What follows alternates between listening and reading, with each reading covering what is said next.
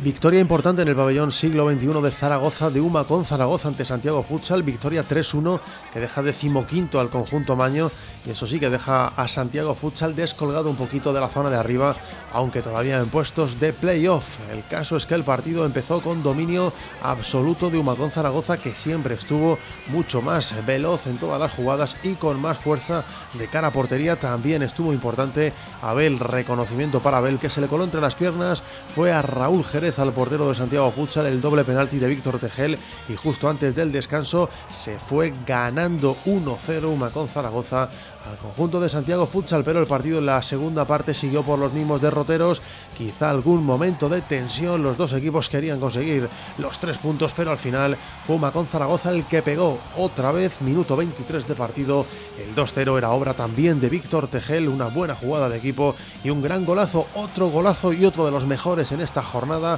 de la Liga Nacional de Fútbol. Sala lo marcó Kenny, la salida de Raúl Jerez y por arriba con un toque y con mucha calidad Kenny puso el gol. Otro disparo más, el balón que se fue rondando la portería, a punto estuvo de entrar ese tiro de David, pero tampoco entraba en las ocasiones del conjunto de Santiago Futsal, a punto estuvo otra vez también de marcar Quintela, pero el balón no acababa de entrar y finalmente se disparó y esa jugada de Kenny tampoco cogió puerta, un balón largo, un balón perdido y el toque al palo que salvó el cuarto gol de Uma con Zaragoza, jugaba de 5 el equipo de Santiago Futsal, pero no acababa de lograr el gol, aunque finalmente sí acabó marcando. Lucho puso en el 40 el 3-1, el partido expiró, los tres puntos se quedaron en casa, se quedaron en el pabellón siglo XXI, Ganuma con Zaragoza.